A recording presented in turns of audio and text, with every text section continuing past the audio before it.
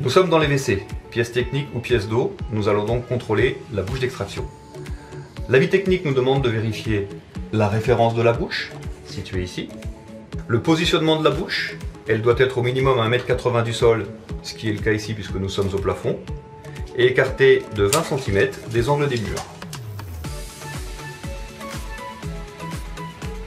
Nous allons maintenant contrôler la pression de fonctionnement de cette bouche.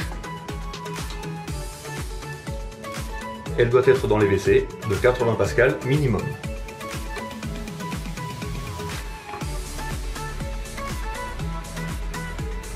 C'est le cas ici, l'installation est en parfait état de fonctionnement.